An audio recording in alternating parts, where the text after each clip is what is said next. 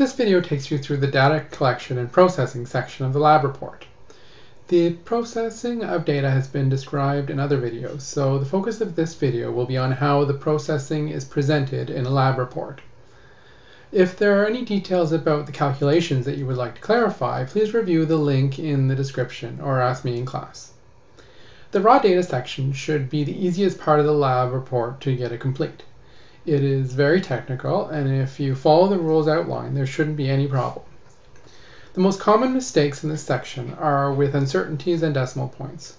All data measured using a given measuring device should have the same number of decimal points, and the uncertainties presented in the raw data table, table should reflect the uncertainty of the measuring device used. Excel often removes zeros from the end of decimal points, but you need to make sure that they are there because they are significant. Qualitative data describing any difficulties or issues that were observed during the experiment must also be included here, as they may prove useful in the conclusion and evaluation section of the report. The data processing section shows how the raw data was manipulated so that a graph of the independent and dependent variables can be created. This includes determining the uncertainty values of the dependent variables and any other calculation specified. This section should read like a journal, explaining what was done, why, and how. A sample of the calculations carried out is required, using any one of the data points. Presenting sample calculations will require you to learn how to use an equation editor. It is not acceptable to do sample calculations by hand or to use a text editor, as neither of these are very professional. The result of the data processing section should be a fairly simple table with independent variable, dependent variable, and uncertainties clearly presented. Physics is a very well established subject, and there are lots of laws and theories that have been derived to explain various concepts and phenomena. The topics chosen for experiments where you'll be writing a lab report generally involve well established relationships, or relationships where you could fairly easily derive a relationship using the concepts we have covered in class. In the theory section, you will present this research in order to derive a theoretical relationship between your independent and dependent variables.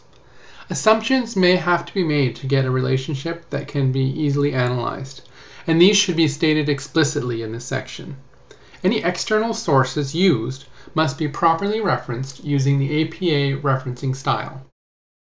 The graphical analysis section has been described thoroughly in the videos produced for lessons 1.5 and 1.6. Here are a few points that you should understand and follow as you are making up your lab. Make sure that the graphs are properly labeled and the text on your graphs is legible. The best way to do this is to shrink the window for the graph a bit before you copy it out of Logger Pro. Sample calculations must also be included here, using an equation editor. It is sometimes useful to use powers of 10 in the headings in order to make the numbers easier to grasp and compare. Here are some more of the sample calculations. The product of this section should be an equation relating the independent and dependent variables. Don't forget to include the appropriate power on the independent variable, in this case squared. And finally, you must include a graph that shows the maximum and minimum lines of best fit.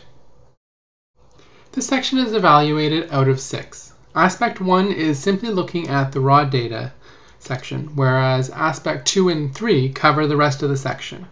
Aspect 2 is more focused on converting the raw data into a form that can be graphed.